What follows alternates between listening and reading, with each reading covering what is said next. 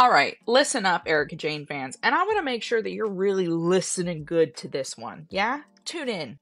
Because what we're not going to do is pretend that Erika Jayne is having a redemption season.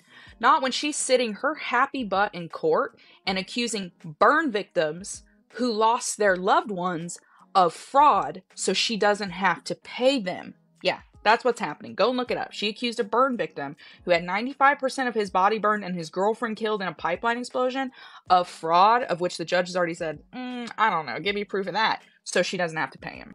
We're not going to act like the woman who had to ask what empathy was and who has been demanded to pay back the $20 million that she owes, which she's refusing to do, is a hero, is a superstar, is having a redemption arc.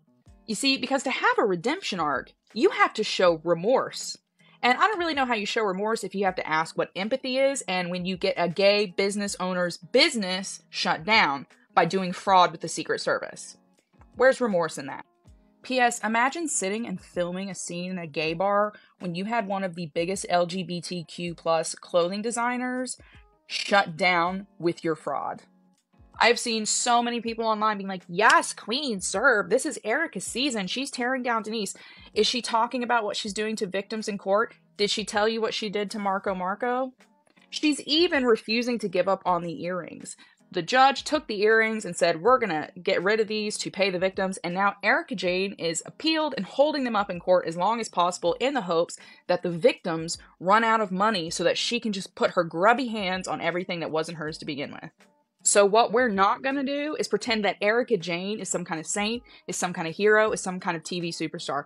To be honest, when she's doing this to burn victims, she doesn't deserve to be on TV at all. She doesn't deserve any of that money when she can't even pay the money to crash and burn victims that the court has ordered her to pay. Yas, queen, slay, do fraud. Because that's what she is. Fraudster. So remember that, Beverly Hills fans, when you do your whole, yeah, she slayed, she slayed Denise. At least Denise hasn't, like, frauded, defrauded people out of $20 million that was stolen from crash and burn victims. Miss me entirely with this.